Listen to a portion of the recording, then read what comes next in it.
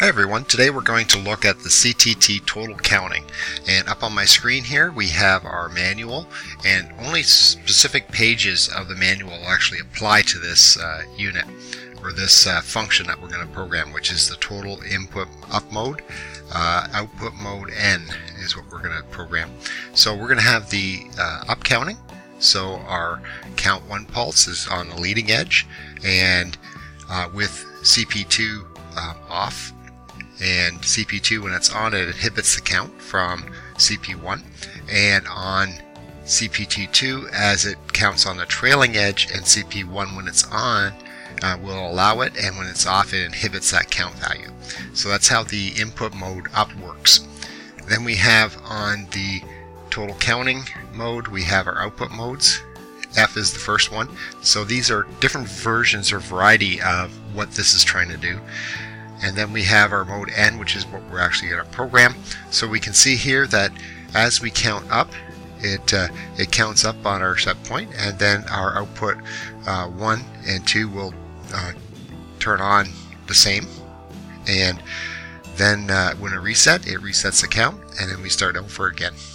Now on the total side you'll notice that um, it just keeps a running total of our actual uh, count value until we actually hit the reset 2, which then resets that total count value. So that is how it, um, the mode N works on our CTT uh, total counting. And then we have mode C, and there's a, a, variety of different modes with different variations as mentioned before. Then we have our wiring diagram, or counter wiring examples, and this is how we actually wire the actual unit and our input signals.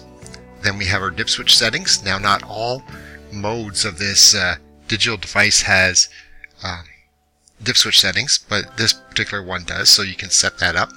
And then we have a keypad parameters that we can use to actually program the unit. So let's just do that now. And if we hit and hold the mode key for three seconds, it goes into our programming mode. And the first thing we have is our counter mode, which is correct. Then we hit mode again. It shows us our total, which is what we want. Then we have our input type, which is up. Next we have our output mode, which is going to be N, which is what we want. Then the next, if we hit the mode, you will see we have the speed. Now the speed is set for 200, meaning 200 counts a second. We go up to 10,000 counts a second. However, what we do is we have a relay controlling our uh, input to, to our digital counter here. So 200 would be fine. We hit uh, mode again. It goes into our decimal point. This we can specify where our decimal point is on our display. Next is our prescale, and this actually will allow us to put in a value that represents what each of the count represents. So this could be length, um, it could be rate, um, number of different things. So we, we scale it to engineering units that we want to display. Hitting mode again. We have power options and we have it set for save. So that means that the total count and the um, set value of our counter um, is actually saved when we have power turned off to the, the digital counter and then we turn it back on, they still remain there. And once again, our reset is 20 milliseconds. We hit mode again, and we have our input type, which is PNP, which is the way we wire this unit up. Hitting mode again goes back to our same, uh, back to the beginning again, and we go through it once again. Um, hitting mode and holding it for again three seconds goes back to our run mode. And we can see our count currently is set for 10.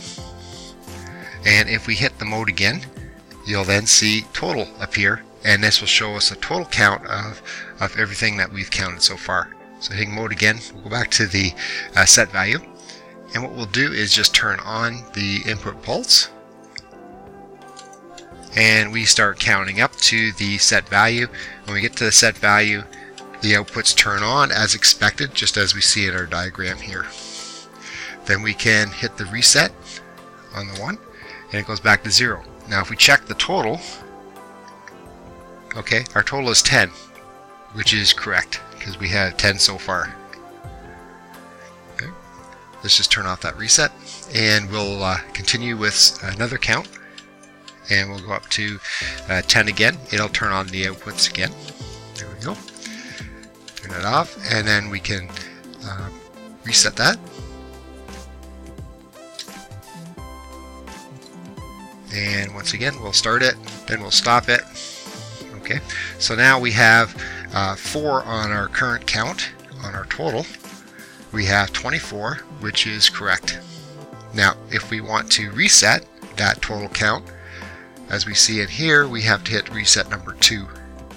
So hitting reset number 2, uh, what will happen is that total then will zero again, which is exactly what we expected. Now going back to the first count, there's 4, and we can continue to count if we want to.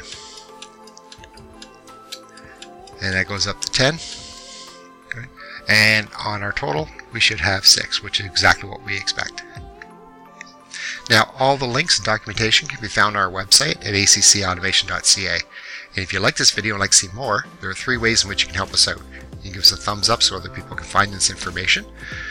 You can subscribe to our YouTube channel. You can also go to accautomation.ca and subscribe to our website. When you do, notification will be given to you every time we publish new content to the site.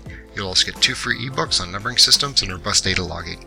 And the third thing to do to help us out is to tell a friend or colleague about the site. Alright, that's it for now. Thanks for watching.